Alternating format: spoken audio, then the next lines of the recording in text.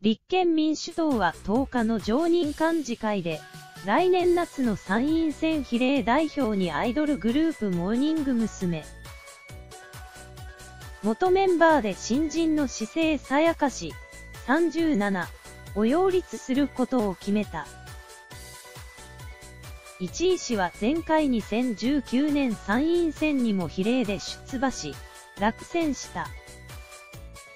このほか富山、長崎両選挙区で公認候補となる総支部長にそれぞれ新人を1000人。千葉愛知両選挙区と比例で現職1人ずつの公認を決めた。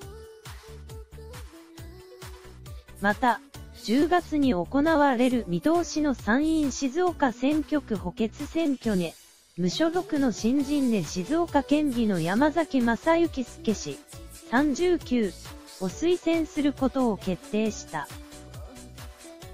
国民民主党も山崎氏推薦を決めている。次期衆院選に関しては、2選挙区でそれぞれ新人を総支部長に選任した。